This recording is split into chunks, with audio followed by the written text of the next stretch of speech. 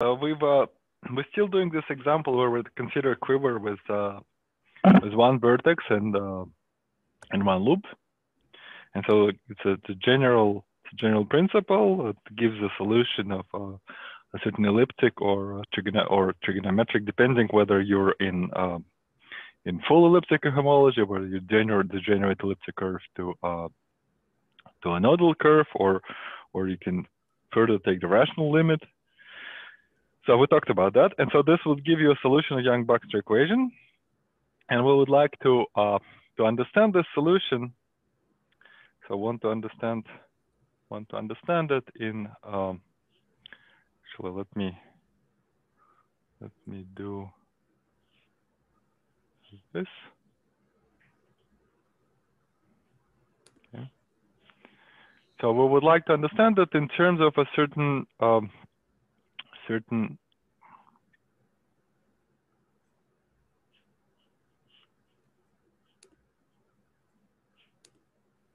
I apologize. I'm moving stuff around on my computer. So we'd like to understand in terms of certain um, to understand a goal is to understand understand the solution. Well, like I said, the rational solution we talk talk about a, lot of things in quantum groups are done by deformation means you understand some special point and then you you understand enough features of that special point that you then confident to conclude that this is uh, this certain features, well, they will become more complicated as a general point, but uh, will remain the same. In terms of in terms of um, certain conformal field theory, and in particular with certain Virasoro, kind of, it's, it's a Virasoro, in fact, in terms of Virasoro algebra. And uh, so, like I said, this is uh, this in particular case, this will depends. This depends on some parameters. But in principle, what's in print, what's it? I, get a weird echo here. I'm not sure what to do. Um,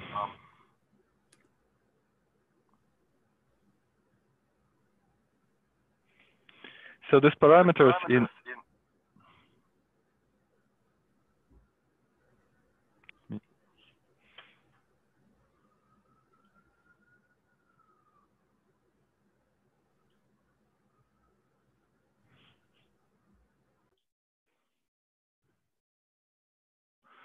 So, um, okay, so these parameters are, um, uh, depends on parameters. These parameters come from the fact that I, I, in my quiver, I have an action of, I, I, I'm allowed to scale every edge, so I can scale an edge with the weight T1.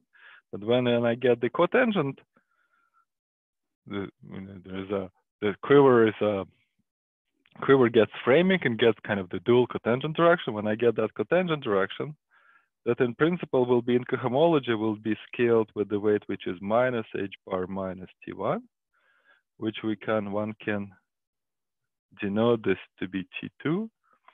And so this means h bar is, means the, the variable h bar is minus t1 minus t2. So it depends on these two variables. But of course, in cohomology, cohomology is a graded theory.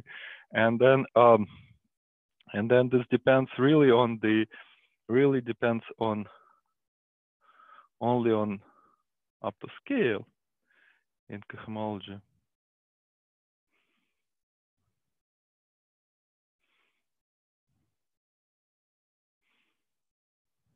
And so the one, so there's one, there's one uh, parameter, kind of scale invariant parameter in T1, T2, which is convenient to introduce. And maybe we'll go like T1 plus T2, which is proportional to H bar, over T1, T2, maybe this one squared. So this has degree zero, and maybe we denote this guy to be like kappa squared, something like that. So that's a, that's really one parameter here. Or we can one can take the ratio of T1 and T2. That'll be this would be another parameter, another way to parameterize that.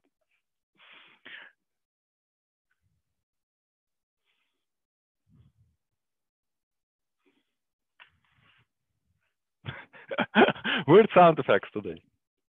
And so already Noah asked last time is that what was the what is the meaning of this uh, what's the meaning of this Virasoro algebra? And the Virasoro algebra really finds its all this all the features that uh, we're seeing in this uh, in this example, they really find their explanation in some higher dimensional geometry.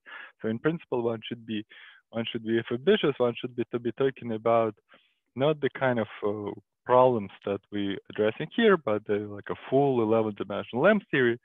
But uh, but one particular instance in where you can uh, see how some higher dimensional geometry comes into play is this uh, is this one way to to see it is uh, is through this AGT relations. AGT stands for Alday Gaiotto in Tachikawa, and they say the following is that we if we take that C2 This C2, this is the C2 on which the this is where this is where this is the corresponding quiver variety is the moduli space of instantons, and that C2 is where instantons live.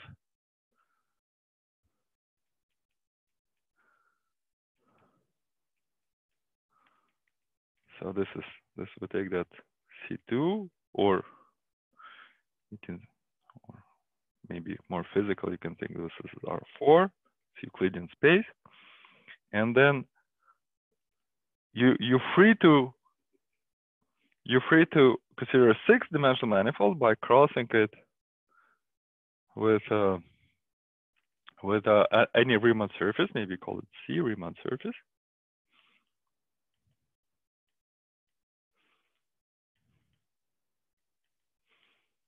And on this, so this will be a six manifold, and there's something on this.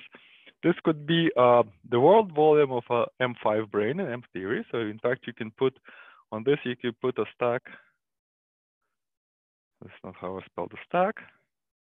And stack not in the sense of algebraic geometry, but really in the stack of like a stack of pancakes. Stack of uh, R M5 branes. So five branes are certain extended objects in M theory, which I don't know much about, but they, they exist. and AGT says, well, this is, well, we don't know about M5 brane so much, but we can, uh, we can, if we put them in this geometry, then we can tell, talk about the, the in computation two, in two different languages. We can either compute with instantons. So this is the, the corresponding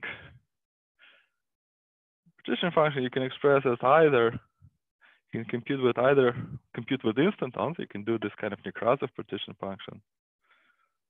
Nekrasov counts of instantons.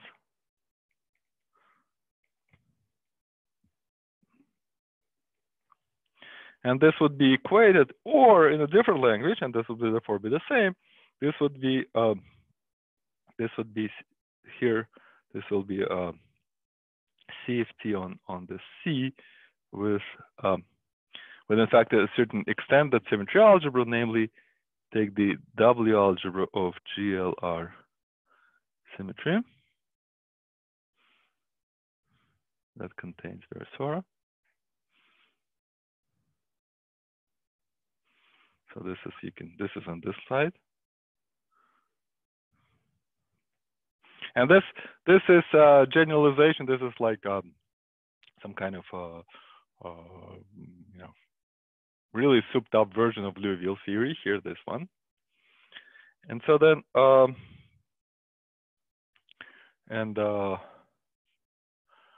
and right and and so and the way so we're gonna so we we're not gonna be talking about M5 branes in this course at all. From our perspective, we talk about three-dimensional theory. So this would be from from our perspective, we can understand kind of M2 branes. We, we would like to understand M2 branes. M2 branes is something the world volume of M2 branes is three-dimensional. The three-dimensional theory of, lives on M2 brane.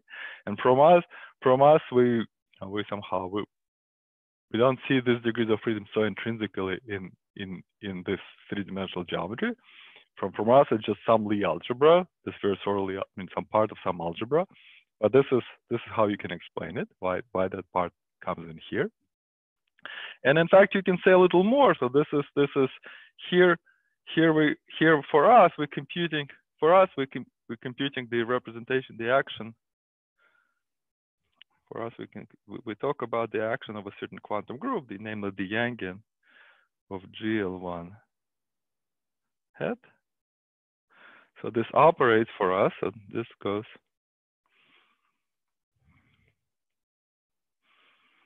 this goes into endomorphisms of so we, we, we the moduli the homology of the moduli spaces of instantons of rank R. This is for us the R-fold tensor product of Fock space. So this is a, take a Fock space and we'll take it to the R's power. But in fact, this map, so, and in fact, this map that goes, that factors through the image of this map is in fact a certain completion of this WGR. And maybe up to there's some completion, just maybe not so important. So in other words, this is this is the image.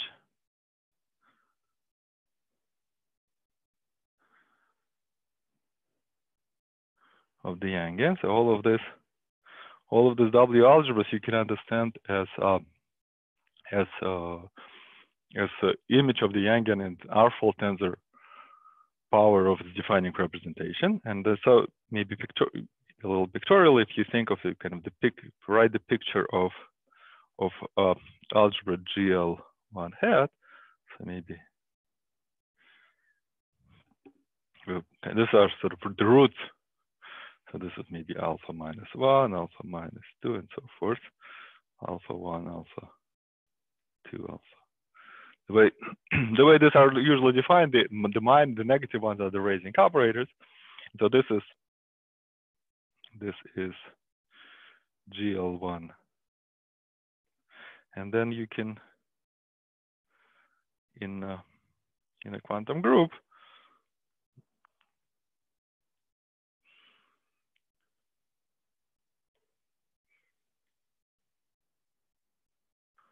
they get their brothers so these are the older brothers of them, and maybe you put them in a different color or this color.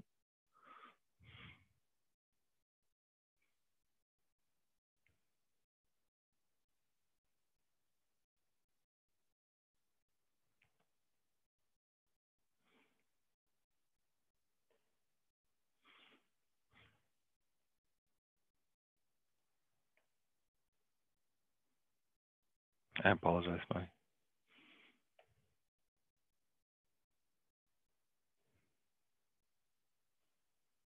and it gets kind of, you know, sort of yet another. maybe I'm uh, maybe I'm getting a little carried away here with uh, with uh, using different colors, but uh, so kind of two axes here, and so this would be this would be saying, like for example, here this would be uh, a generator, which is like T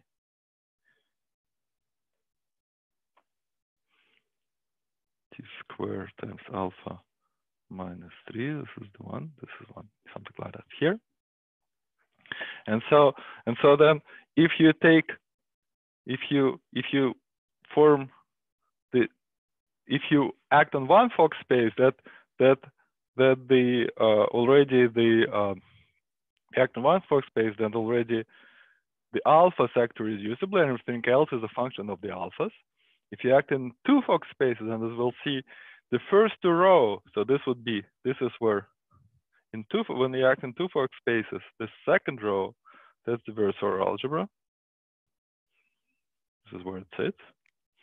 And then the, the, the, the first two row act, act act uh, irreducibly and, and, and it's fact like a Verma module, and everything else is a is a is a function of them. If you act in a threefold tensor power, then this would be then the first three row will act will act it will be like a Verma module for the first three row, and so on and so forth. So this would be so that would be maybe this is like the W algebra of GL3. And this is if you if you act in a threefold tensor power, these guys act nicely and everything else is a function of them. Um, so so okay, so then so now we go back to uh, uh, we go back to this uh, systematic discussion of this material, and uh, maybe a remark I want to make. So today, for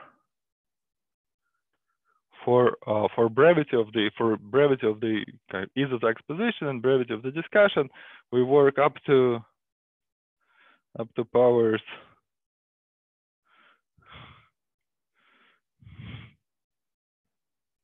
of minus one, two, and up to cohomology labels.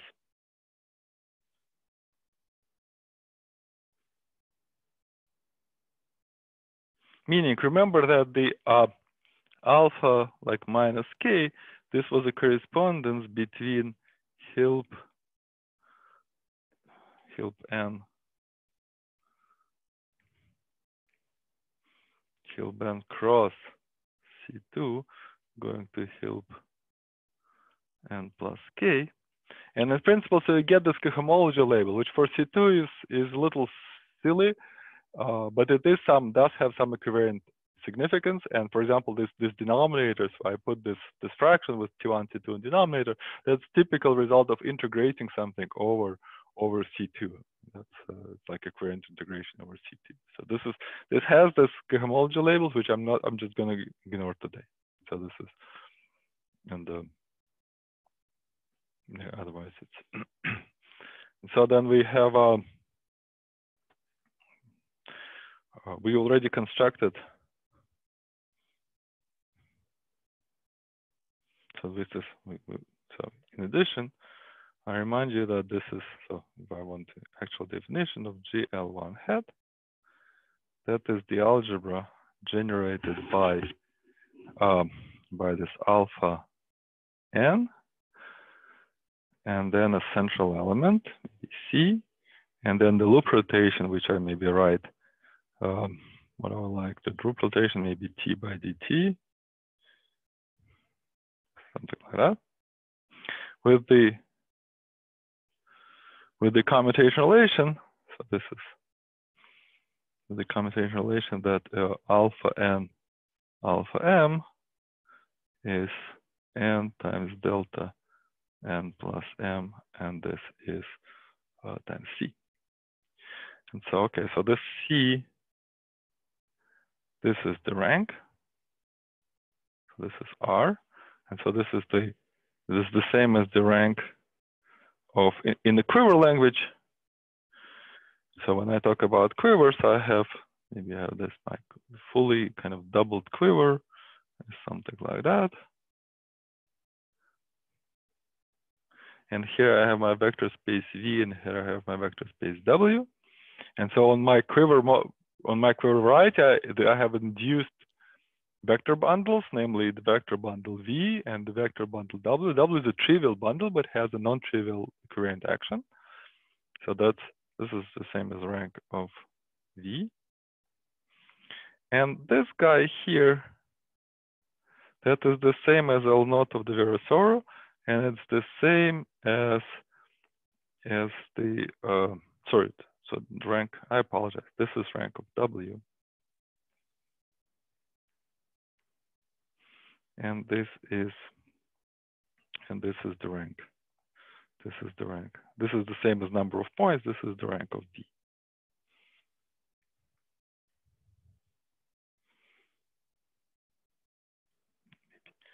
You know, this is this is the rank of V, and that's more or less the same as L naught of the Virasoro, not exactly the same, but we'll get this uh, to get in the in a minute. And in fact, and in fact, the um, that minute will be now in in that I you if you're paying attention, you will notice that that except we didn't get we don't get uh, alpha naught from 1 over u coefficient in the R matrix. So this is definition of the of the classical of the Lie algebra was is whatever you get in the 1 over u coefficient from the R matrix. And if you're paying attention, then then alpha naught is not there. Alpha naught is some operator which I haven't assigned here. But alpha naught, it's convenient to put it here for the ease of writing various formulas. And then uh, and the reason is it's it will be so this in fact, so in fact, what we will do is we'll define alpha naught to be to be C1 of V. In other words, in other words, if I have, what does it mean? If I have my Fock space, you know, R standard power, then alpha naught here operates by just this whatever sum of equivariant variables. So this would be in my cohomology, that would be like A1 plus A2 plus whatever plus AR. This is the this is this is sum sum of framing variables.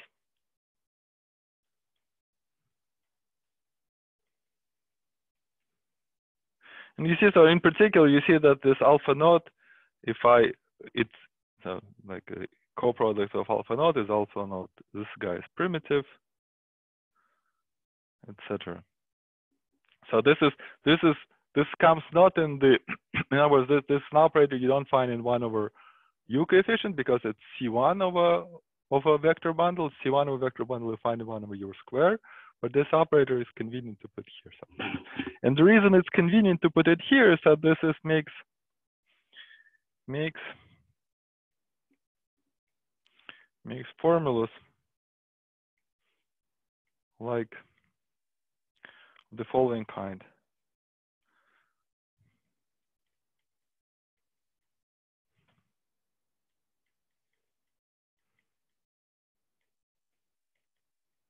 kind smarter.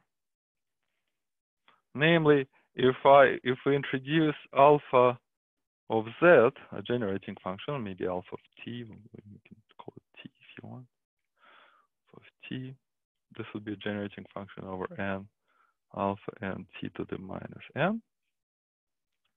Then uh, then we can ask about expressions like like the integral of normal ordered alpha to some power you know, square or integral of normal order cubed and so forth. And so this normal order means where normal order means means uh, put annihilation first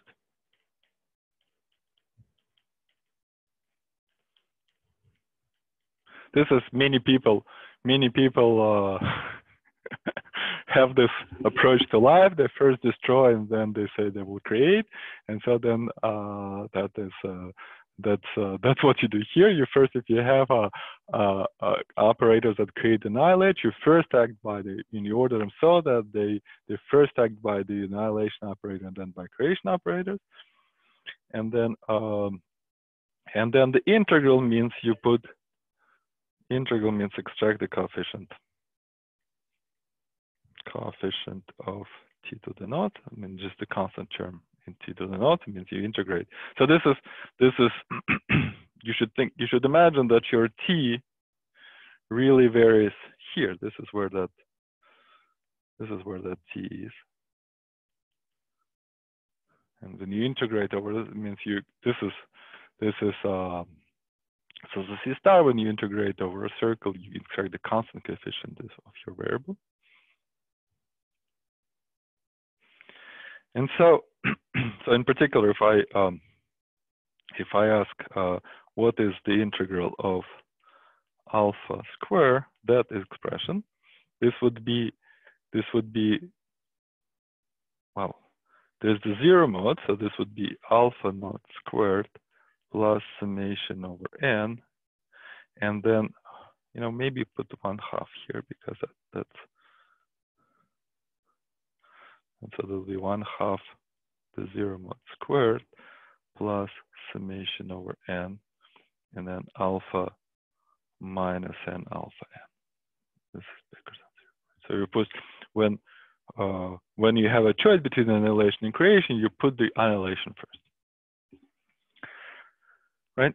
And so you see that this is, if you write expression like this, it does matter to have a zero mode, especially if you go beyond, if you take a cube, then the cube will, so if you have a zero mode, then the cube, that zero mode is, uh, is will be, uh, will be will will affect the formulas in a in a, in a in, well in a good way. That's this. You write smarter formula this way with this.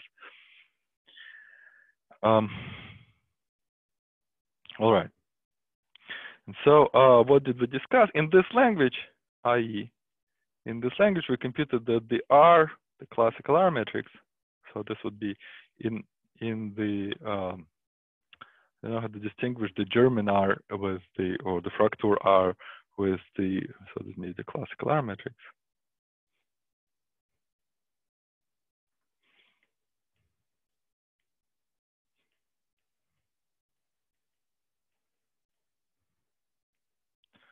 In this language, you can be, you can say that this is the integral of alpha minus normal ordered square, maybe over 1 over 2, and so this is acts on the acting on the uh, so where alpha alpha alpha plus minus I remind you that was alpha tensor 1 plus minus 1 tensor alpha. I don't need the brackets here. So this acts this acting in Fock tensor Fock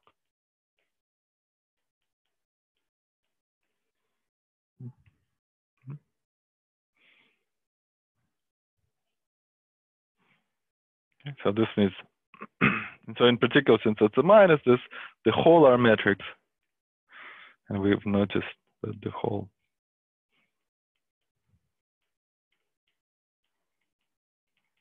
commutes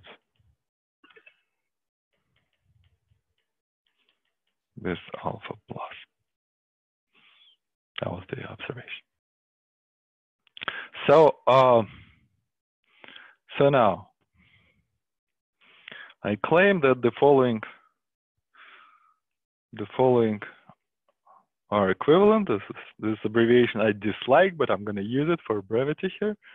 So this is so the following are equivalent is that you well, you it's enough to know. So if you want to know one over u square coefficient of the whole matrix R of u,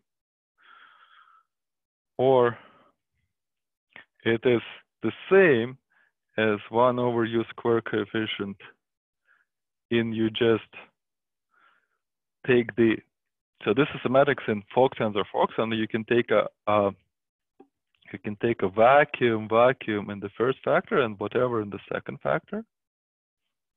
Right? So this is this we discussed. We discussed that if i since I, it commutes since it commutes with a plus this is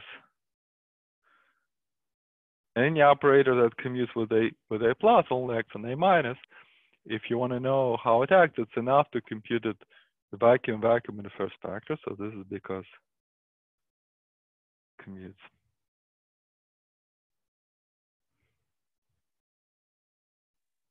with a plus. And this is uh, and this operator by by what we by the general principle, this is a vacuum vacuum element of a, of uh, of an R matrix, and so this is the same. To know what this operator is, it's the same. So maybe I'll put it. You can if you know this or this, or the operator.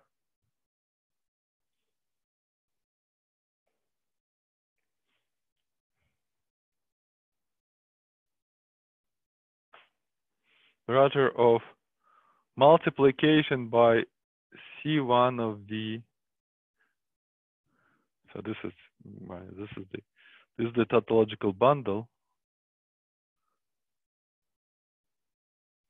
So the in general, so we we we uh the vacuum vacuum matrix elements they they they some characteristic class of tautological vector bundles, and in particular one in one over so the, the, counting is always like that is in one over u term you find uh, the like the rank and one over u square you can find rank and c1 and so on and so forth. So this is the the back the the more coefficient the the deeper you go into cohomology. So this is here you can just just c1 so it's enough to know all these operators. And and maybe before we discuss what these operators are, so these are this is so maybe maybe kind of an important observation. Maybe I don't know. You'll be judged whether important or not. So this is here. So this is one operator in a certain quantum integrable system.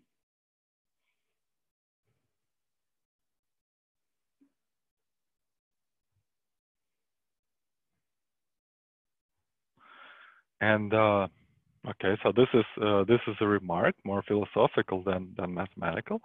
And uh, well, how do we see this? What's a quantum integrable system? A quantum integrable system is, well, I mean, it depends on definitions, but more or less, it's a it's a commutative maximal, I mean, some kind of nice commutative family of operators in some space. and and here it's clear. So these are the you take you take uh, on this side you can you can take cup product by all characteristic classes well cup product by just the whole all cup all operators of cup product.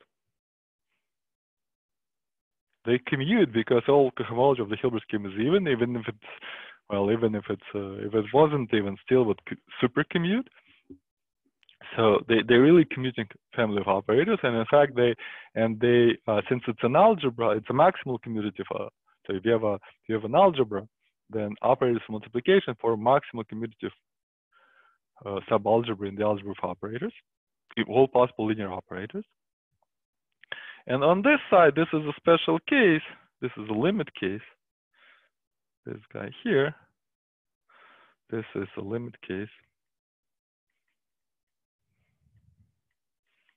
Of um, Baxter subalgebra.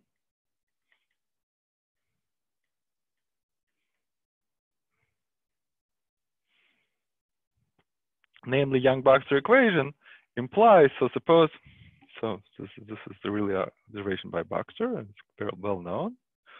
Baxter says the following, suppose suppose you have an operator Z such that Z tensor Z commutes with R matrices.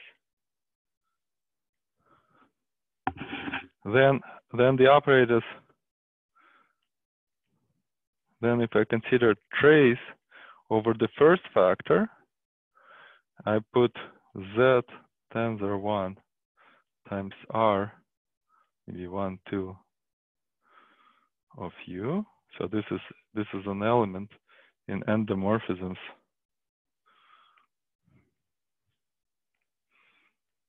of the second factor.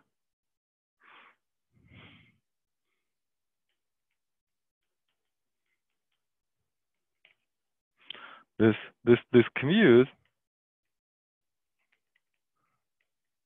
for fixed z.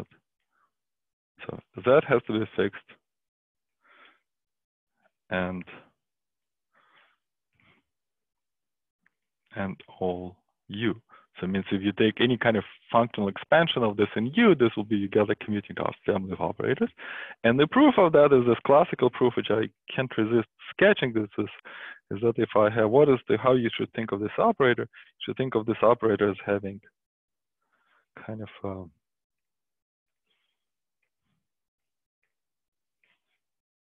something like that. So this is you know, maybe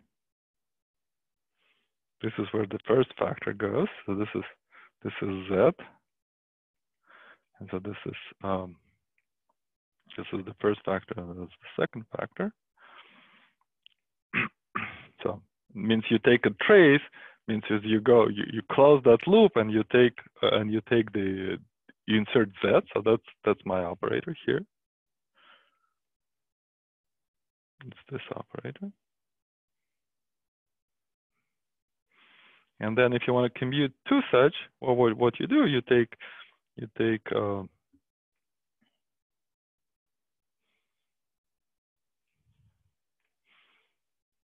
what you need to compute is you need to compute something like that. So this is one of them.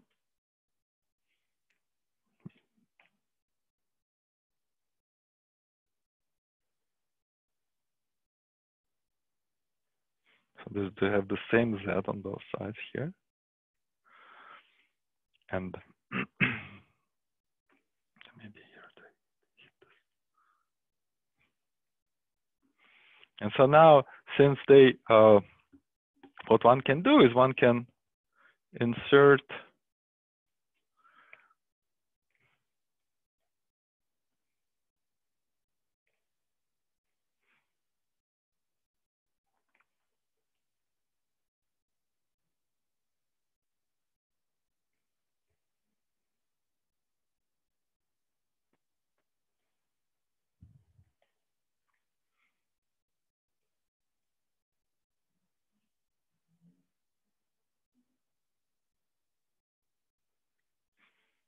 one can insert an R matrix and the opposite R and the inverse R matrix here, and then close the loop.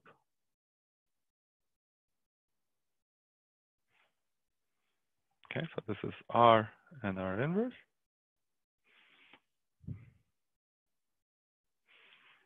And then by the Yang-Baxter equation, you can, by the Yang-Baxter equation, you can maybe, maybe let me indicate the insertion from operator Z here. So maybe this would be. So Yang-Baxter equation lets you move this, you know, by Yang-Baxter you can move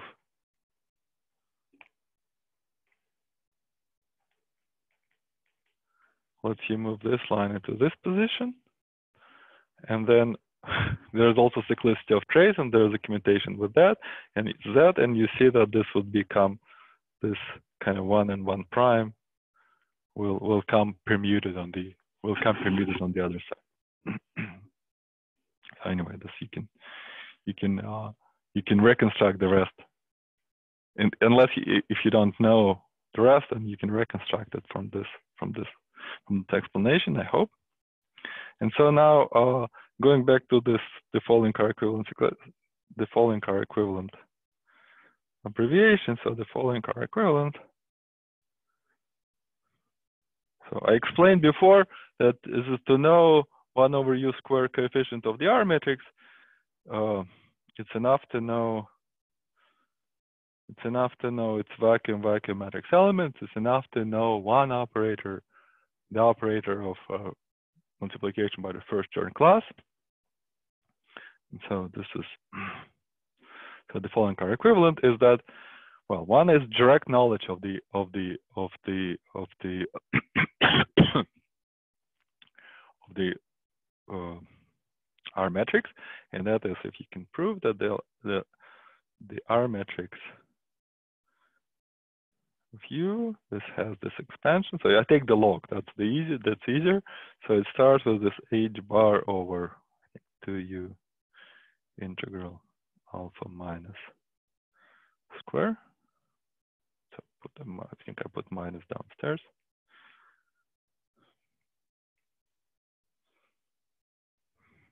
Plus, and then the next term. So the, the R matrix is trivial when h bar is zero. So all terms have to be divisible by h bar. And so this is, so that means the next term will be also divisible by h bar. And this it goes like that. This is square term and then is that is the cube plus O capital one over U cubed. So that's that's one thing that's equivalent. And so a second thing that's equivalent to this computation is that the operator C1 of the tautological bundle. That is up to up to stuff that is the Hamiltonian.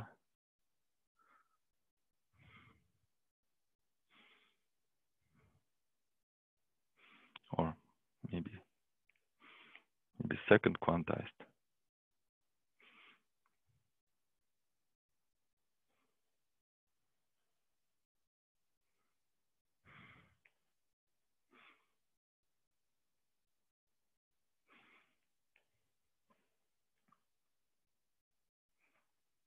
of the quantum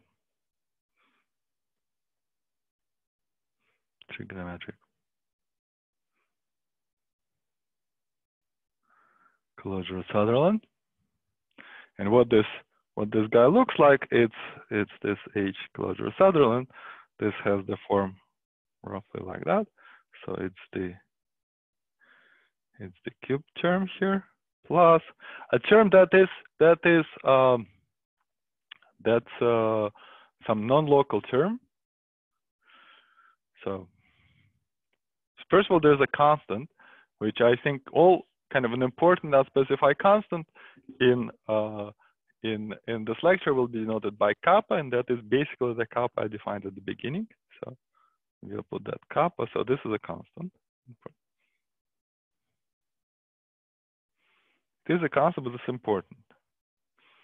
So then, um, and then a term which is doesn't look like a, it comes from vertex operators, but uh, like n alpha minus n alpha n. But if you think about how this is supposed to be a vacuum matrix element of an R matrix, you see that this this term here, which is a perfectly kind of nice, nice, nice kind of zero mode of the vertex operator, by computing the uh, the vacuum vacuum matrix element will give you this this sort of expression, which is this is this is non-local. This involves like Hilbert transform, and so this is also also in this language this quantum trigonometric Calogero-Sutherland that's the same as the Benjamin Ono. In Benjamin Ono equation, there's Hilbert transform, and that it comes here.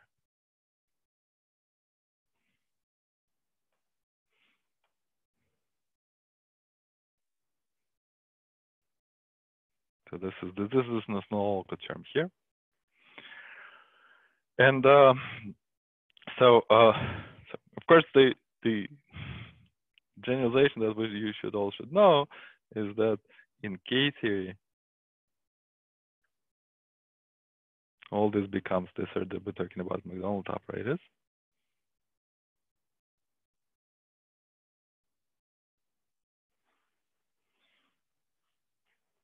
So, uh, so now what is that? Um, what's that? Uh, what's this Calogero system? Calogero system is a system of uh, quantum particle that sit on a, that sit on a on a circle.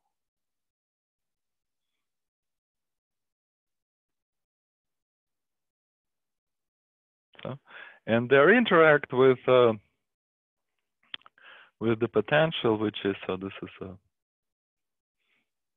system of particles, maybe calls, you know, x, i, x, j, and they interact with the potential, which is some other constant, which is depends on depends on that kappa, and then um, and then some well, one over xi minus xj the square. So they interact with inverse square potential in the circle. And then you can look for eigenfunctions.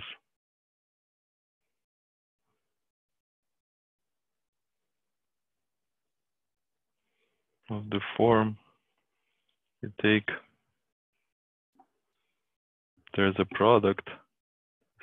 There's a eigenfunction of the form where you take product over Lj xi minus xj raised to some third constant, which I'm not going to specify, which again also related to kappa, and then times symmetric polynomial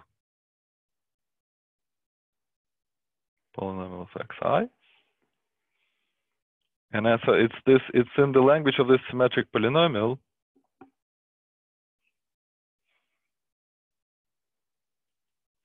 That you get that this operator here acts. So this is this is this is where this act. And the way you identify uh, you you know this can be this can be taken to be uh, this can be taken. So this is here here you can imagine that you have infinity of variables. It doesn't matter that somehow it stabilizes they get uh, and so then uh, where where alpha minus n acts by just multiplication by xi to the n from i goes from 1 to infinity. So this infinity, you can this can make it's kind of important that here here the operator stabilized, so it makes sense to talk about symmetric functions in infinitely many variables. And, and these are the, these eigenfunctions are this kind of jack. These are the, these are the jack symmetric function.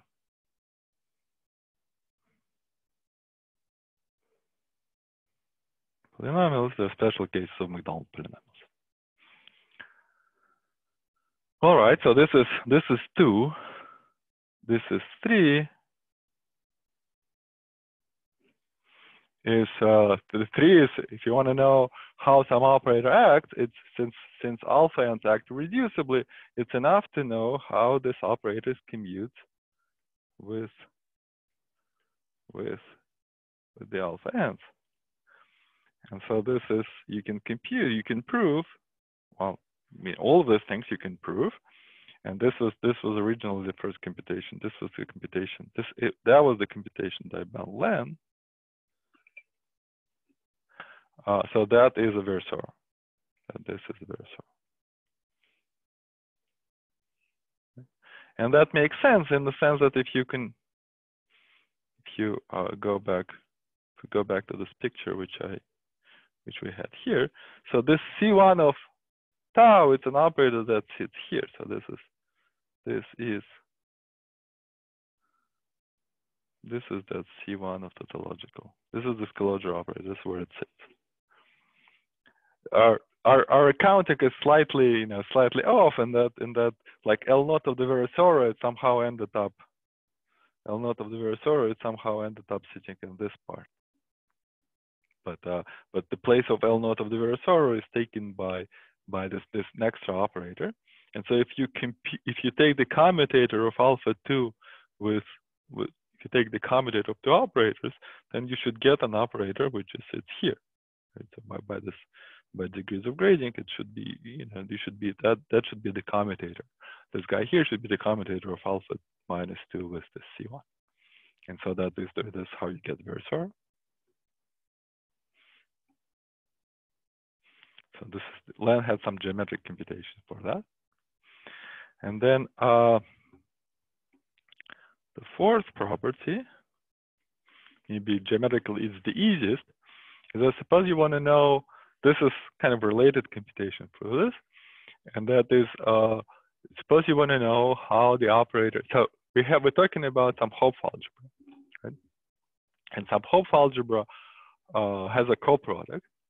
And our Hopf algebra has, our particular Hopf algebra has very few primitive elements. I mean, in general, the, the more complicated Hopf algebra is, the less primitive elements it has. For us, it has the Lie algebra, okay, but then but then other than this, there's none. And then, uh, so Lie algebra is pretty, so usually if you take a, a, a, quantum group, which is like a Q quantum group, it's, it's only, then, then it's really, really very few primitive elements. If you take in the Yangian, that the Lie algebra itself is primitive. But uh, so if you want to know something about an operator, the first thing to know is ask how it co-multiplies. And so this is this is just saying so this is, what does it mean a coproduct? It means you have to compute, means, what, what does it mean take a coproduct? It means you could compute it, compute, compute the action of C1 in the stable basis.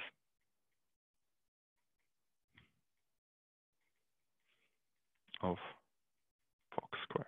Right? So this this is what it means to be Coproduct means you but you identify shifts of instantons of rank two with tensor square of instantons of rank one, and you pull back the operator via this map. This means asking how it co-multiplies. And so then this result is that this is this is again it's a that, that's something you can compute directly. This is C1 tensor one plus one tensor C1 minus H bar summation and bigger than zero alpha. Sorry, and alpha and tensor alpha minus. So you just this is uh, and then from this you you see if you if you commute it if you commute it with alpha ends twice you're gonna get um, you're gonna get a constant means means if I take it if, I commute it no, sorry if you commute it anyway, the fact that the commutator, what does it mean to have a Virasoro? It means you, you, you commute, the, you take, compute the commutator with C11, you get the Virasoro. What does it mean Virasoro? Virasoro means it has a particular commutation relation, like if kind of ln alpha m, that is like, you know, I think maybe minus m, let me look at minus. I mean, we decided today it's up to plus minus. So, uh, so I guess I can, I can say minus minus m alpha m plus m, right? So this means, so this this this means something, some relation of that general kind,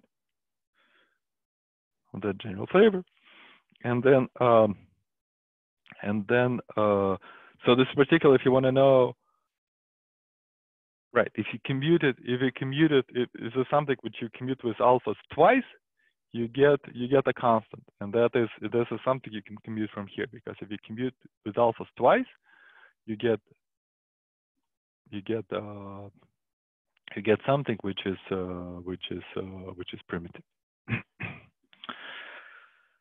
So um,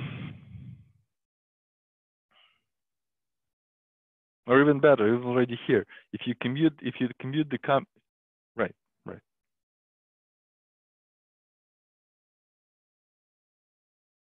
with alpha. No, this means if we compute with alpha, right? Sorry, it says this. if you compute with alpha twice, you get something which is primitive. Okay, so that which is something you see here. All right, and this is in fact a general. This is this is general. This is very general.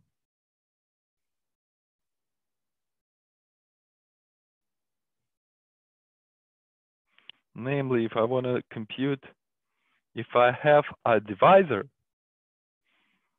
if I have a, a multiplication by divisor, and I want to compute so what C1 of some bundle, it's it's a uh, it's a it's a coproduct by divisor. So I take it. So let D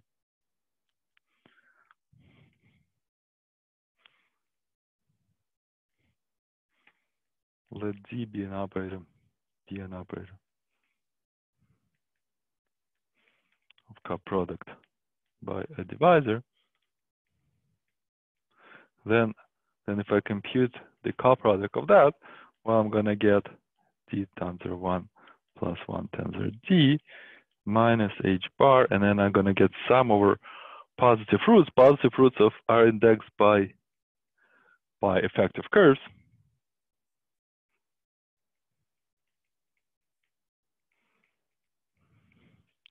And then here, I'm going to get the pairing of the divisor.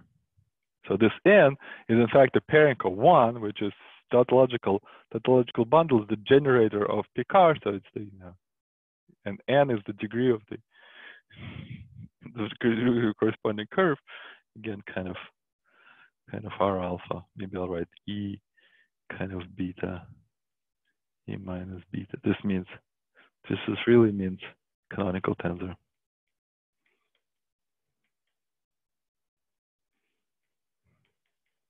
in G beta, G minus beta. So remember last time we talked about how um, how this uh, uh, the Lie algebra is cut out by some projector in some in some cohomology, and so that in particular that it, it counts with a certain canonical tensor in, in, in some root space, tensor the dual root space. And that's that's the general formula, but in this particular case, it specializes to this.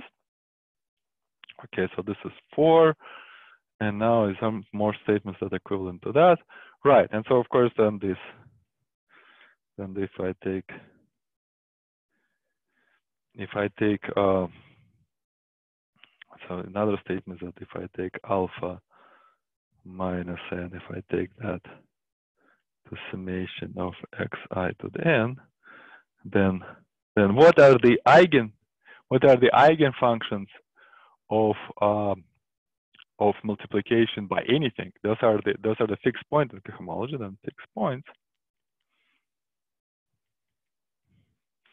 which is the fixed points are the eigenfunctions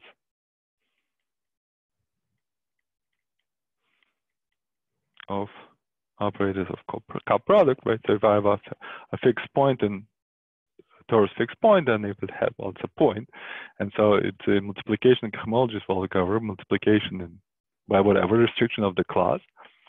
And so, uh, so this means this quantum integral system we're talking about not only it's uh, not only commutative, but in fact diagonalized explicitly. So, for example, its spectrum is not it's not a mystery, it's something explicit. And so this should go to the to this Jack polynomials.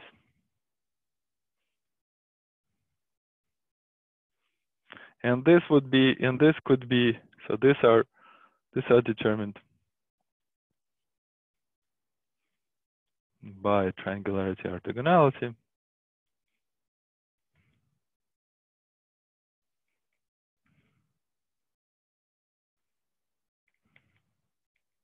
And similar, so this is also fixed points are in cohomology, they're orthogonal, and uh, it's a question.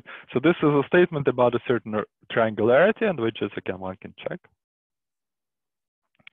And so that's, uh, and of course, we have, I've listed five different statements, and then of course many proofs,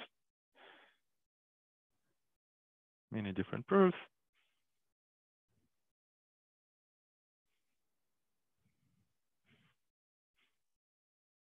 e.g. 4 and 5 can be seen directly.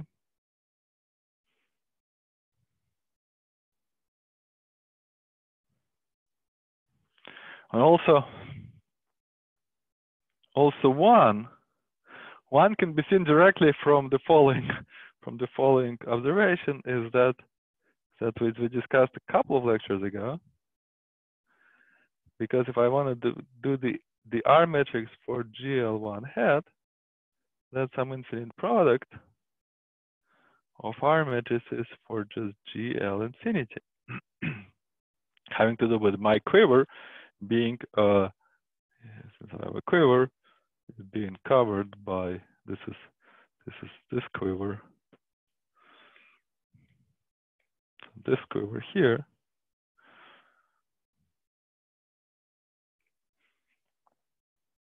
It is the quotient of the infinite curve modulo z. And so that's a, and so in that sense, if you, this you can certainly compute, this R matrix, you can certainly compute the one, so then the take one can take, take one over U square coefficient. And one can certainly do, and this is explained, this is, if you know an explicit computation, this is, you can look at the paper by Andrei Smirnov about it. I guess in, in conformal field theory, there are many Smirnovs. There's Fedor Smirnov, there's Stas Smirnov, and there's also Andrei Smirnov. And so this is, look, that's, I mean, Andrei Smirnov here.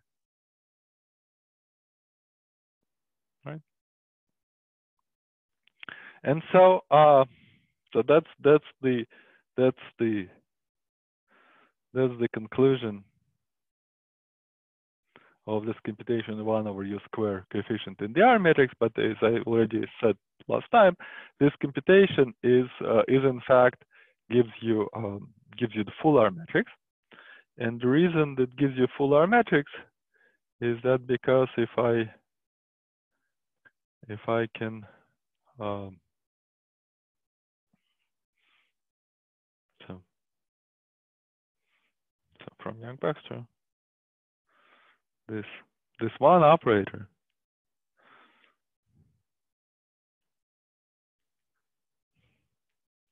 so maybe I'll just grab full R matrix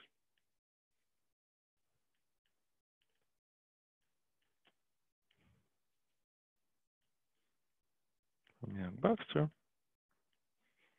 as follows. So, so this is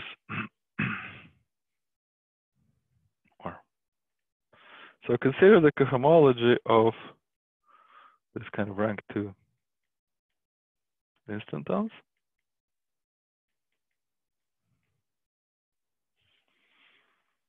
And uh, this week we have uh, there's a framing, there's a framing action on there, and so this gives you two different identifications. Maybe I'll write stop and um, stop stub or stub plus or stub, maybe I'll write stub like that. There are two, two, two kind of chambers here with Fock tensor. Hmm. And then here, I can consider the operator of the C1 is a logical bundle. It's like a rank two brother of the closure operator. And then I can pull it back here. And if I pull it back here, this would be what? This would be here, it'll become, it depends on, depending on, on the, whether it's Stab plus or Stab minus, this would be, this guy would be like, you take the R01, R02, and then you take a vacuum and then something, something, vacuum, something, something, right? Or the other way around.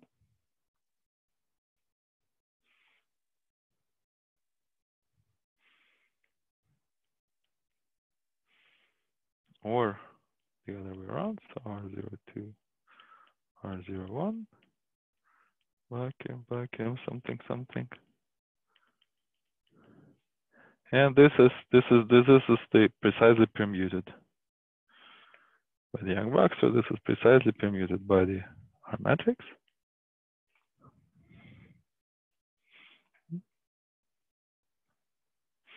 Okay, but that's since we already know the R matrix to one over Q square term, so we know that these are both of these are explicit operators.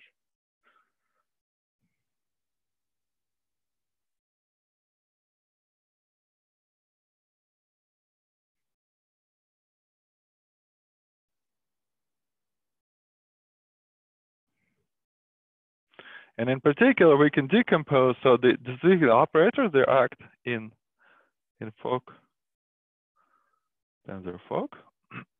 and we can identify this Fock tensor Fock with Fock plus and Fock minus.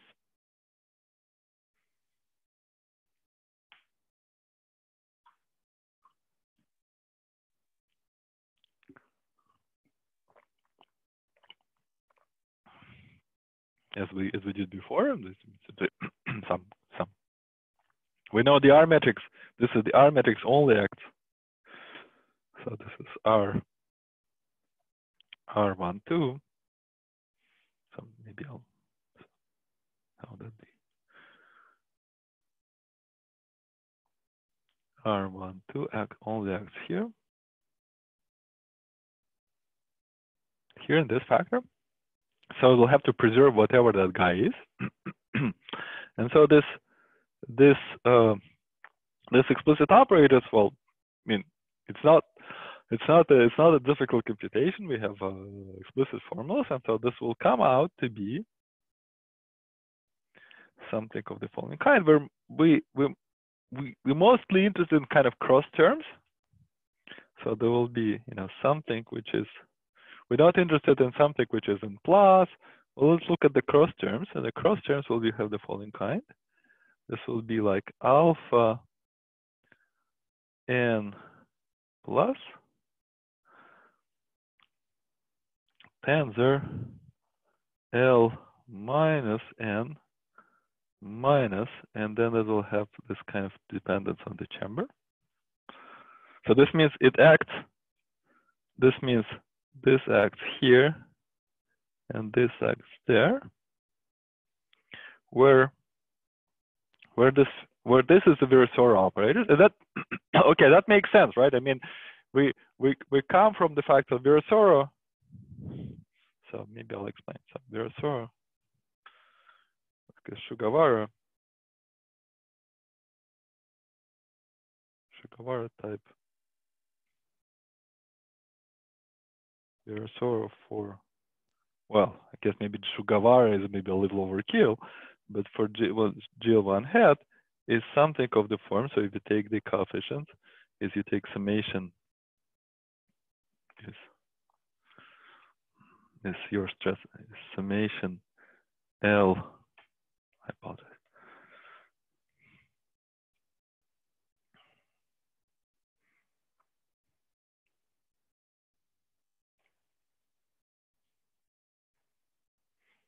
Is L to the n, t to the minus n.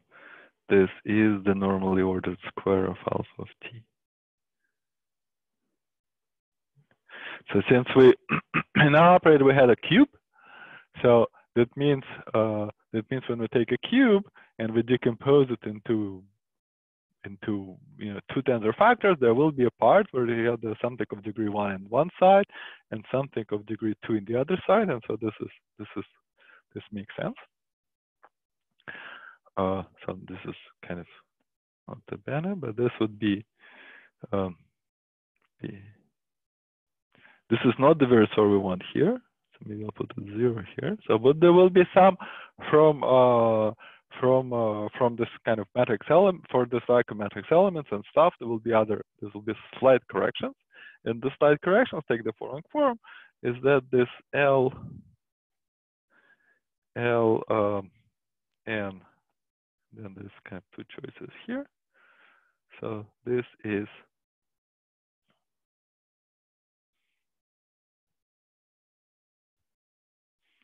You know what? Why don't I?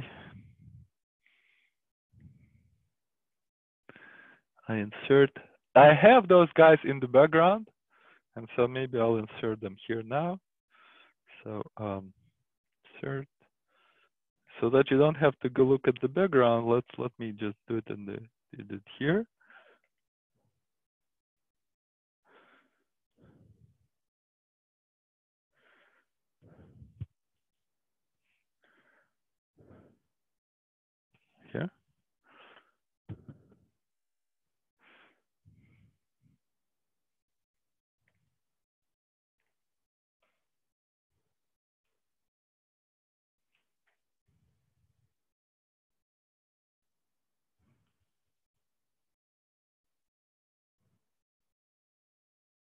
Here it is. So you can, um, so this is like a like a Sugawara Virasoro, except except you get uh, except you get this little this little addition here. You get um, get this linear term that with proportional to the constant. Now this constant is the constant I want, the kappa. And so this means there's also uh, maybe I'll copy it here. That depending, so the sign in front of that kappa that depends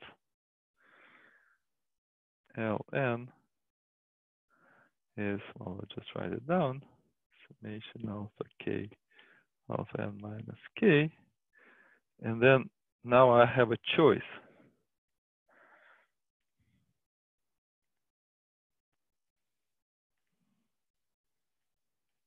And here would be this plus minus that. And then everything is important. N is important. The kappa is important. So kappa, some other color what's the? K kappa and then alpha n. Sorry.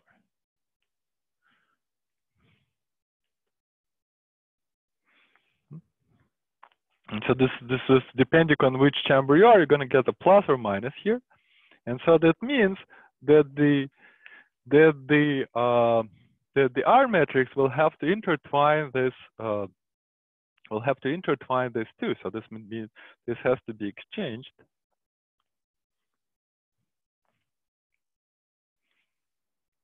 So the R matrix, R matrix changes,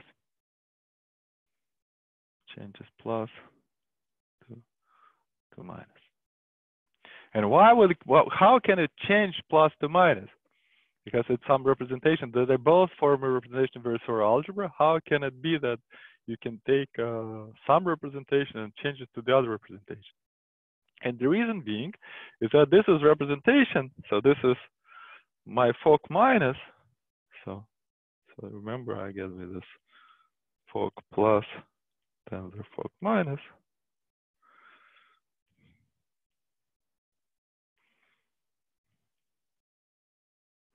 And we, we're interested in this part. R matrix only acts here.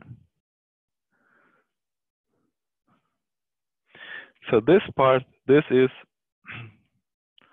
this is Verma module.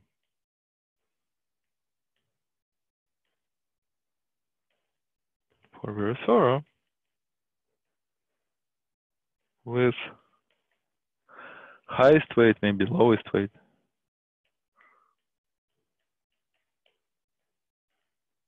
Well, what will be the lowest weight? The lowest weight is the is the smallest eigenvalue of this L operator L naught.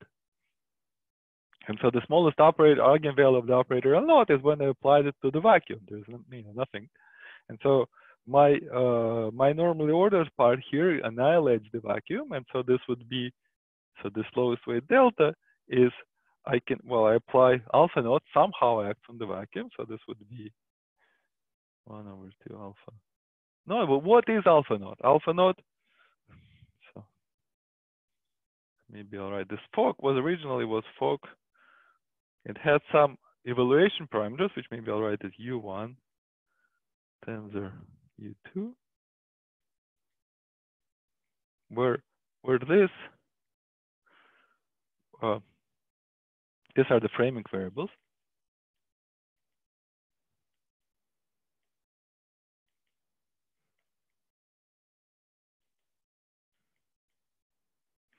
And then my uh, my u was the difference between them. And that is the eigenvalue. This is the eigenvalue.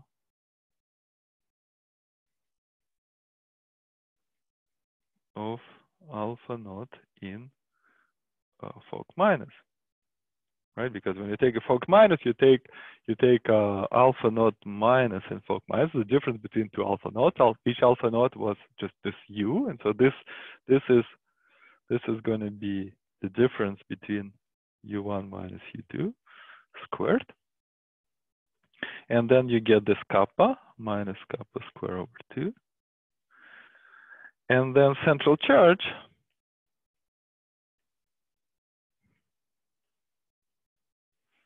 central charge, well, it's a computation. It will be minus 12. I think it's minus 12 over kappa. And so point is that they're both invariant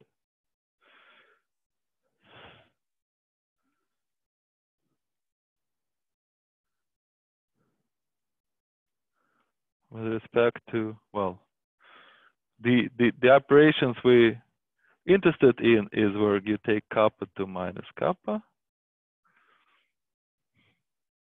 But also, uh, you can take U1, you exchange U1 and U2 but uh, that's also symmetry, but that's uh, that's essentially the same symmetry because what you can do is, I mean, if you take both, then this is the same as uh, taking alpha and sending to the minus alpha.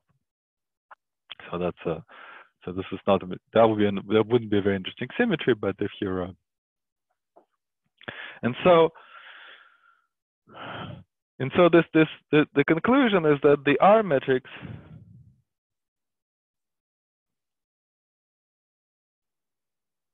R matrix is does nothing in plus and does reflection. So this is this is the terminology. This terminology comes from Liouville CFT, where this variable there is a um, is a, is really just momentum there, and so that means you change u1 minus u2, you reflect that, which means you change the momentum, and so that's reflection in uh, so there's nothing in Fock plus and this the Fock minus. And so this means this is really uh, this is really parallel to what happens for uh, ordinary fine dimensional symmetries, where you take a, like a GLN GLN type R matrices and you decompose, I mean, the typical take a square of representation typically decomposes into like a symmetric square and exterior square. So those are like a, and so this this is this is analogous to that. And so that's the saying. So anyway, uh, also you should think of this as you you really have an interaction of two bosons, and this is like a, you know, this is like a center of mass. This is what you said. This is you should think of really two bosons and here two bosons, two free bosons that live on your Riemann surface C, and this is the center of mass of um, and then relative position. This is two bosons.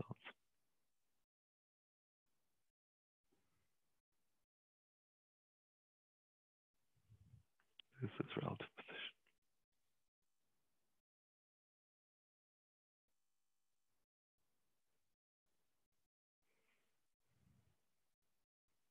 Okay. One last remark about it is that um, is that this is when considering we can always compute the determinant of the R matrix. On the one hand, it's explicit because because we have um we can have because the R matrix is Stab this sort of expression. So these are two triangular matrices, and you can compute this block. These are triangle.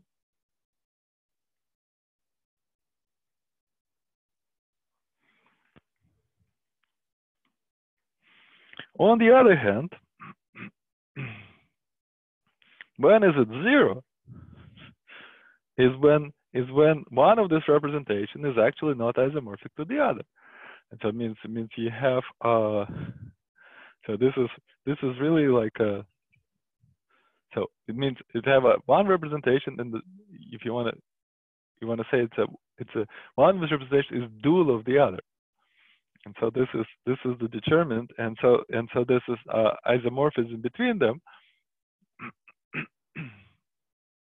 So so if i if i take uh if i take uh the the transpose if you, if you take right oh, i said it so one of this represent it, it's always the case that tensor products in one factor the the dual of the r matrix the dual of stop is is stop is the opposite stop, and so the if I think a tensor product in one order, then the dual of that is a tensor product in the opposite order. So one of this representation is the dual of the other representation. And so the R matrix, what's what's isomorphism between? And so this R is the isomorphism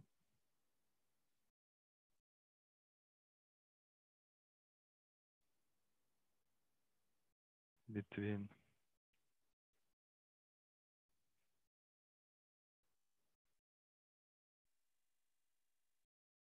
representation and its dual. And so this is this is therefore it's just the same as the determinant of the Shapovalov form. And so you get so get cut form.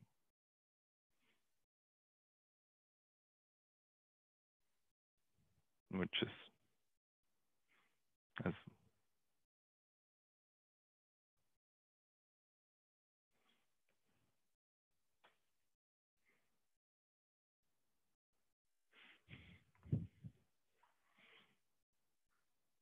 so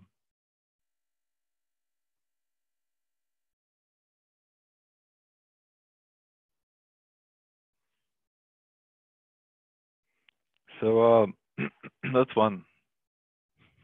That's one. That's one application.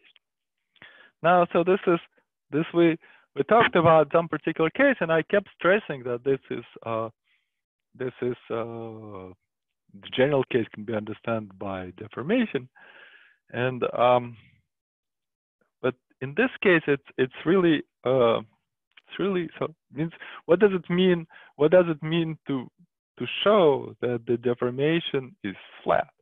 To show deformation is flat as well, we, we have, the way we define the matrix is that the, it's just, sorry, the way we define the quantum group is just you take matrix elements of R matrices, right? So this means, means the generators obviously deform. So then it's a question to ask, to ask whether the relations deform. And the, uh, and then, uh, so this is this is a general, in fact, a general discussion. And I'm a little bit, I mean, a little bit out of time for this, but um, but um, but but nonetheless, let's let's let's talk a little bit about it. So this is so it's a general topic. We take relations quantum groups.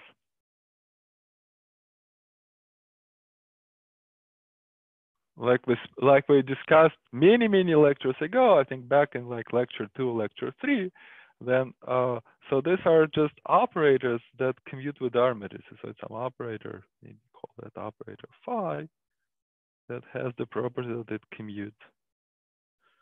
So, somehow so there's some tensor product coming in, some tensor product coming out, and this guy here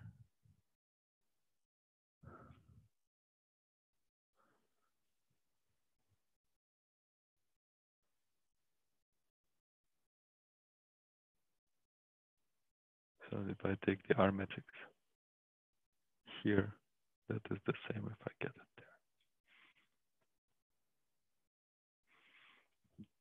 So these are operators.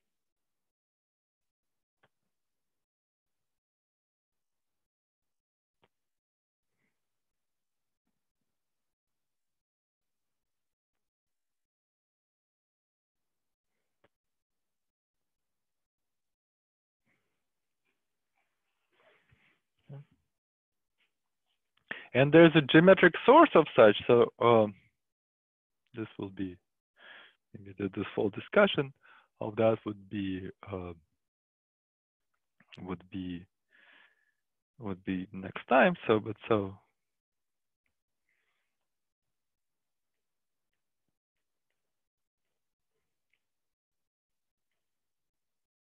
source are are are the following operations which you can called slices. So um, remember we had, we always have this picture in the back of our mind is that, uh, so our, our variety X is some smooth variety, just kind of like the cotangent to P1.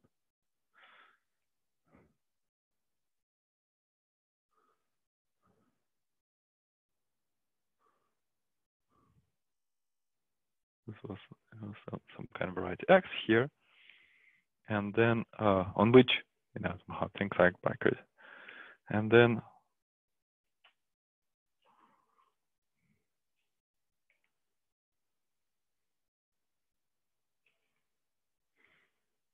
then this this is a resolution of something singular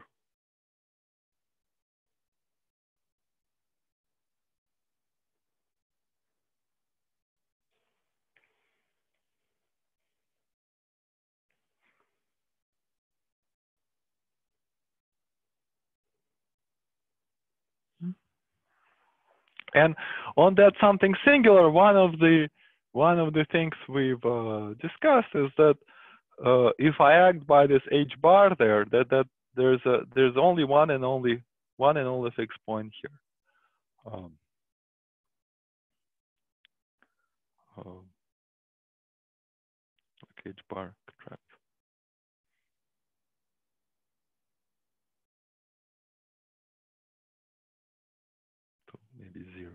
it's the most singular point in X naught.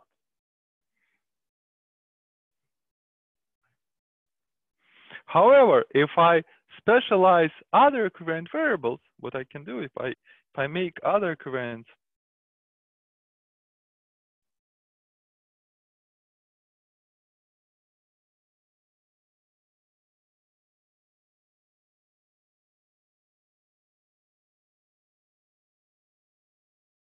depend on h bar.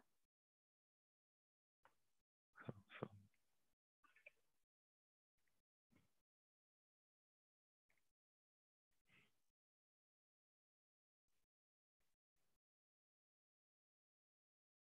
If I make, or we make, let's just let be, let let be, if we make what we can do, we, we can do, we, we can create a fixed point.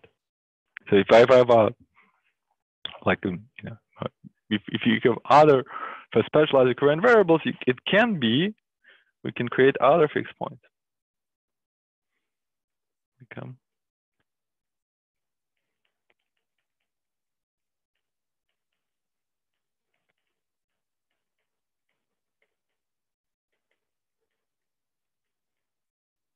means if I impose some equations on on these equivariant variables, I can create other fixed points. Right? And so if I create other fixed point, if I created some fixed point, means I can look at at the pre-image what it, what my variety x looks over over that over that point. So then you know it'll be something. Know how to draw it? Maybe I'll something like that. So means means I've uh, I take a neighborhood here and I take a neighborhood there. So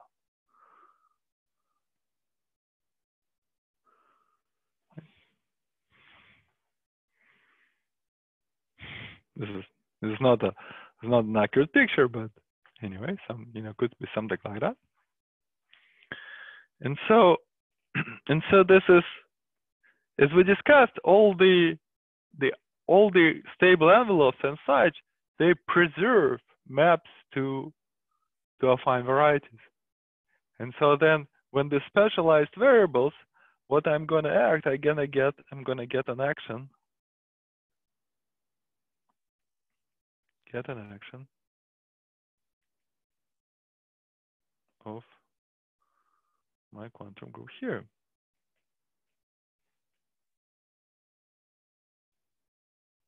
Okay, we will review this next time.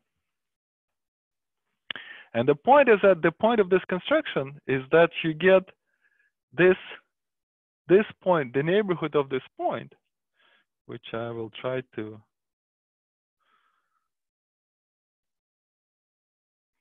shall try to copy here.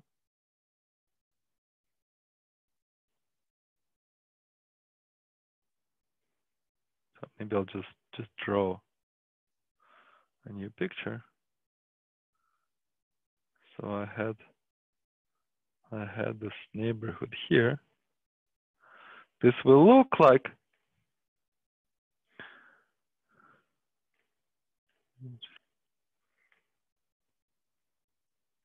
whatever, some something like that. This is in fact this is in fact the neighborhood of zero in some other quiver variety. And if we look at the preimage of that, it's in principle some other quiver variety. So, I mean, not in principle, but it is some other quiver variety.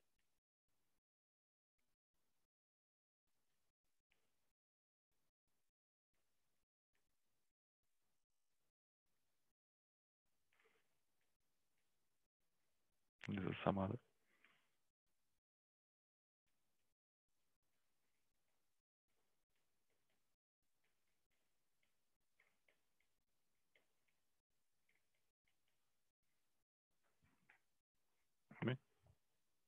So in other words, if I get, if I get, if I specialize the variables appropriately, what I can do is I can act, get a map, and this this inclusion, just you know, this this sort of this inclusion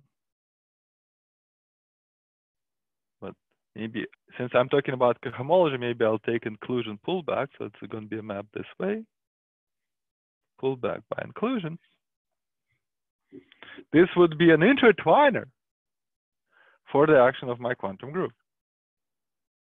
And so, and so concretely, so this would be generalities will come next time, but but concrete concrete formulas of that would be the would be the following that if I take so remember I had um, I, I was thinking if I talk about rank two sheaves then I can take if I take Fock space and uh, let me now let me now write the uh, the, the framing variables multiplicatively as they you know whatever you can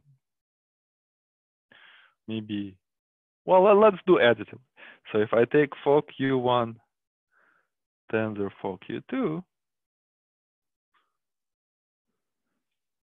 so this is irreducible. So this is irreducible in general.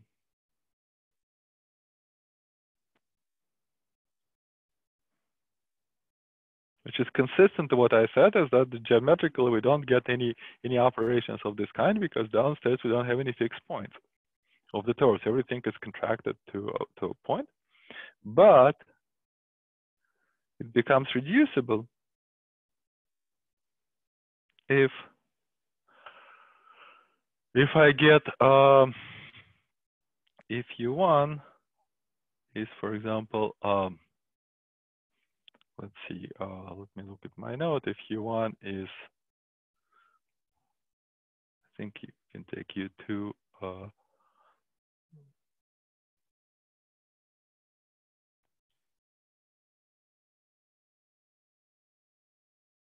maybe let's take U2. U2.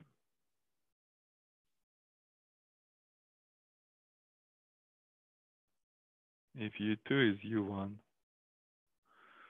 minus n t1 and minus t2 and this means this means an operation this is this is some torus and i've i've been writing things in cohomology but means if you're if you're doing in k theory you just multiply it and in elliptic cohomology you apply the corresponding operations of the group operations there. And then we get and if we get that and then you become you go you get a non-trivial intertwiner this is the slice that would then go to Fock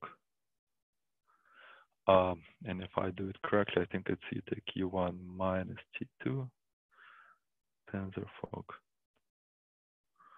of u1 minus mt1 hmm. and then in for Virasoro, it's it's uh, for Virasoro we, we we know this operator. This is screening operator for Virasoro.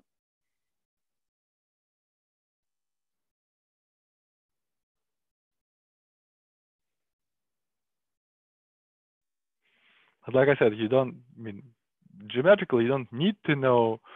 I mean, it's good to know. I mean, this this is screening operators means some particular formula there but uh, but geometrically the existence of that is the is the is the operations that I explained and we'll talk more about next time. And then uh, so this means and this the commutation with the screening operators this in fact is a complete set of relations. This is complete set of relations.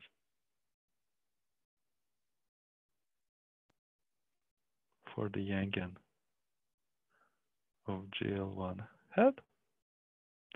And it's complete because, well, the way it's uh, in the way you see it in uh, in the book, G because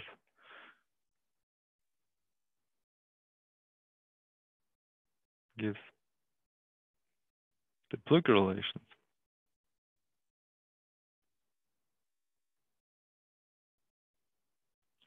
At h bar equals zero. And we know the Plücker relations are whatever cut out what they're supposed to cut out.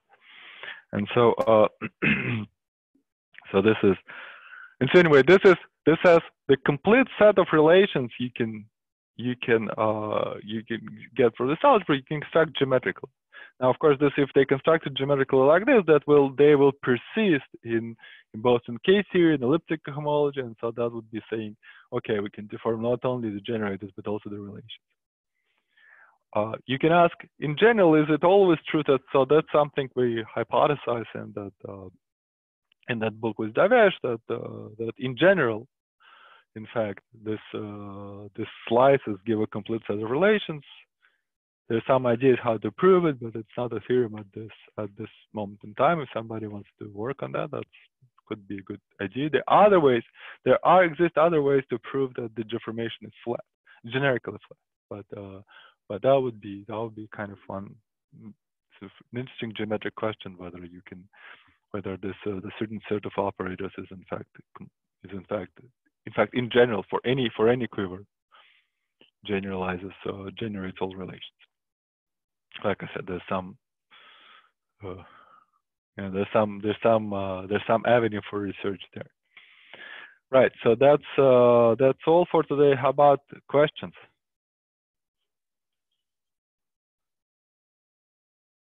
Any questions today? Sorry, what were these Plücker relations you mentioned at the end? Say again. Uh, these are Plücker relations for for what at h bar equals zero? For uh, so Plücker relations are so at the Yangian, the Yangian of um, GL1 hat. This is at h at h bar to zero. This becomes more or less universal value of GL infinity. And so this is acts in um, so this is part of the endomorphisms of space. So take a Fock representation. And you can ask uh, what are the relations that cut out cut out the image of uh, of GL infinity inside the Fock space. And this is means means if you take mean specifically saying you take this is the question of like you take endomorphisms of M and you put it inside the endomorphisms of like exterior algebra of M. You can ask what is the what's the what's the relations that cut out that, and that's a that's Plücker relations.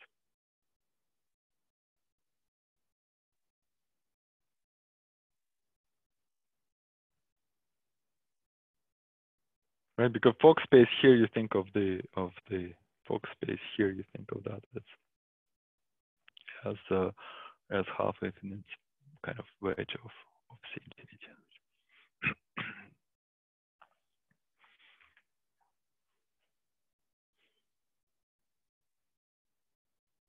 More questions? Yeah, I, maybe I, I didn't understand this well, but this reducibility at these particular values of, of or this particular value of u1 minus u2 mm-hmm. something we, we should think about geometrically or, or? Yeah exactly. Geometrically this reducibility comes from the fact that for those values there is so for those values there is a fixed point. So maybe so uh, uh, apologize. Maybe maybe it's you know maybe it's easier to explain for t star p1 so it's always, I mean, this is kind of idea that you can explain for T star P1. For T star P1, if I have my, my weight U here, then uh, my weights on, on the outgoing things will be this minus H bar minus U and minus H bar plus U, right? So when I contract this to, to the cone, okay, this, this, this is this part is contracted here, but the, the weight here will be the same, well, minus h bar minus u and h bar plus u, right?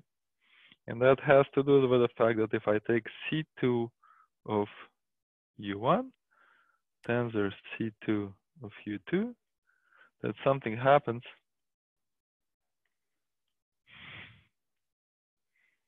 something happens to this product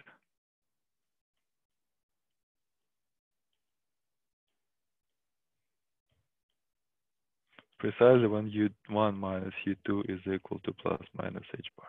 So those are the those are precise values where something interesting happens.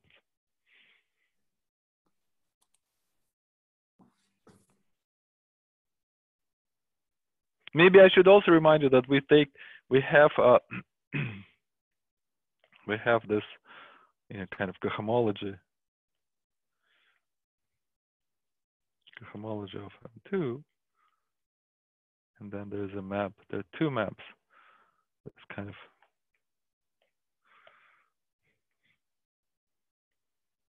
there are two different maps, kind of Stab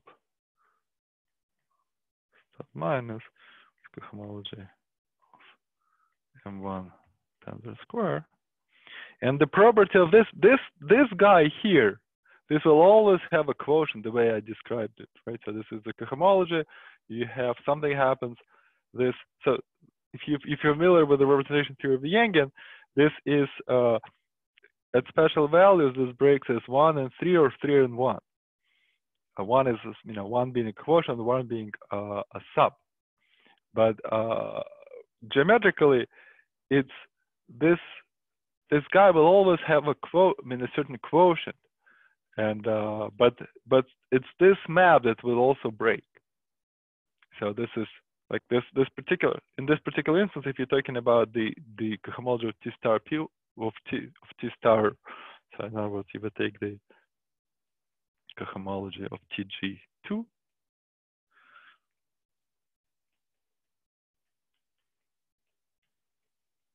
This always has a quotient 1 and always has a sub 3. But then the way the way the identification stable envelopes work is that sometimes it works like that, sometimes it works like this.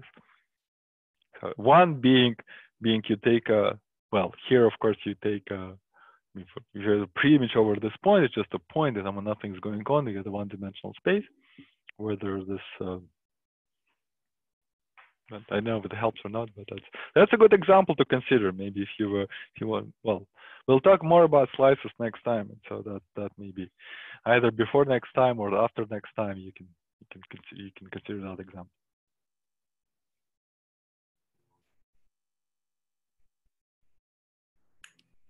And then I also have a, one more question about, uh, I guess uh, maybe it was number four of these 5 mm -hmm. equivalent things. This was the co mm -hmm. C1? Yes.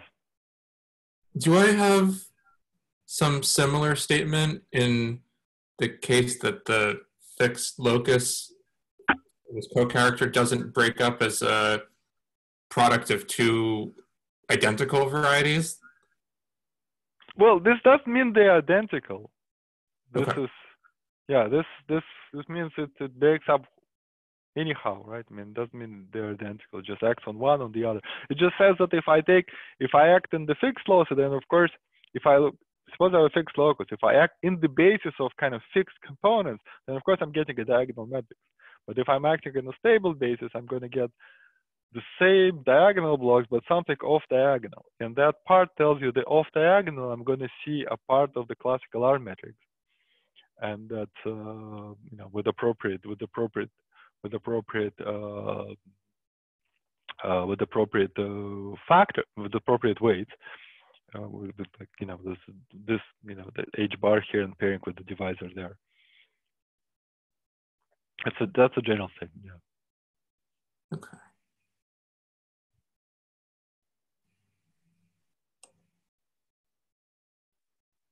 And sorry can you remind what this pairing means if i'm not on this this orange pairing means if I'm not on on working with like moduli of something over a surface? Oh, it's um, so uh, you can uh, the the classical R matrix you can you can break up in pieces which are just saying that uh, each you can say it like that. You can say um, pieces come from like pairs of points that line a curve of a certain degree. That's that's okay yeah, that's that's what the that's what the breakup is. It it doesn't have to be a, a so for for quiver varieties with for quiver varieties not to be a surface for quiver varieties the classical matrix came was some part in uh, um, you take a, just an Nakajima variety with certain dimension vectors that dimension vector was the degree. Yeah, so that's a Nakajima variety the, the identification of lattice of dimension vector with both h upper 2 and h lower 2 by this uh, by this uh, well by the uh, there's a I apologize what's it called? The Cartan matrix. And so uh, and so dimension vector is is both you can view it as both an element in it's both a divisor and both a, as a curve. And and the way to think about this as a curve is you just take you can you know like we did last time means you take uh you take same kind of representation, frame it differently. There'll be like a curve in the in in there'll be like a curve in the uh, in the quiver right. And degree of that curve depends linearly on dimensional representation.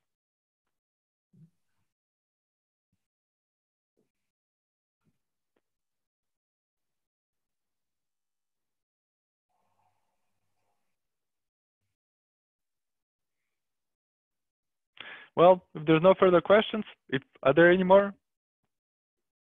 Then, then next.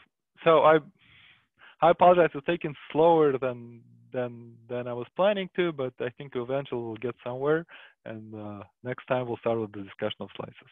Thank you so much.